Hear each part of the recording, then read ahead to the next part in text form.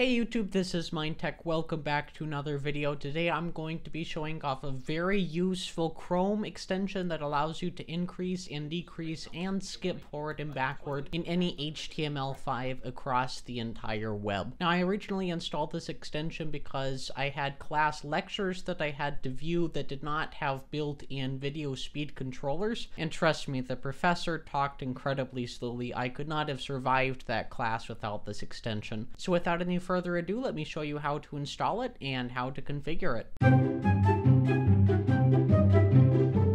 So the extension is available on the Chrome Web Store and it is of course compatible with any browser that uses the Chromium engine. Has over 2 million users, over 3,000 positive ratings. It is also open source so you can view the GitHub repository for this and fork it, modify it for yourself, do whatever you want with it. And I specifically chose this extension not only because of all the positive ratings but also because it is open source. That allows other users to go and look through the source code and ensure that there isn't any malicious stuff that's going to steal your data or anything built into this. It also doesn't ask to read through any website data or anything like that or intercept any personal data, so I am confident that it is a secure extension. The extension appears as a little rewind icon up in the top right, and it is very simple, very straightforward to customize. That's what I really like about it. It's really no thrills. You can change the hotkeys that allow you to increase and decrease the speed and also fast forward through your video, and you can can also set the amount of increments that you want. You can also whitelist certain web pages to prevent this extension from working on them. Let's say you don't want it to work with YouTube and you only want it to work with your class lecture videos. You can go and type in youtube.com here to whitelist YouTube from that. And the proof really is in the pudding here. So if I press the S key, that's going to decrease the speed on the video. And there's a little overlay here that you can actually move around the video player to go and view the current speed of the video. And if you hover hover over that, you can go and increase and decrease this with the GUI. If I go and press the D key, that's going to increase the video speed. And if I go and press the X key, that will jump forward by 10 seconds.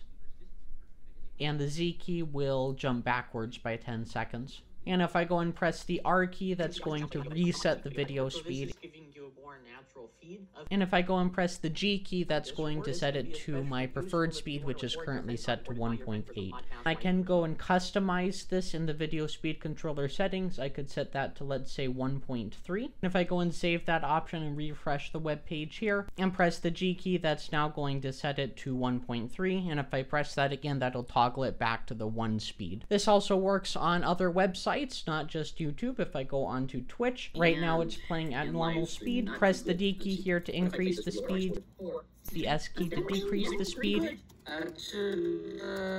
and it's really nice that I don't have to go and search the many different HTML5 video players to try to find those settings independently. I can also go and do this on Amazon. This has been very useful for very long and boring product videos that I just want to get through before deciding to purchase something. I'm going to use the GUI to go and decrease that to normal, press X to skip forward a few seconds, and press D to go and increase the speed. The key limitation to this, however, is that it only works with HTML5 video. I'd say at this point that is pretty much a standard, but there are some legacy websites that still use Flash. I've been using this for half a year already. It has worked perfectly fine. I love the customizability, but I especially just love the simplicity. Again, it's honestly been a lifesaver for classes who use videos that don't have embedded speed controls. It's so frustrating, and this solved my problem instantly. So with that said, thank you all so much for watching. I hope this video was helpful, and I'll catch you all in the next one. Bye bye.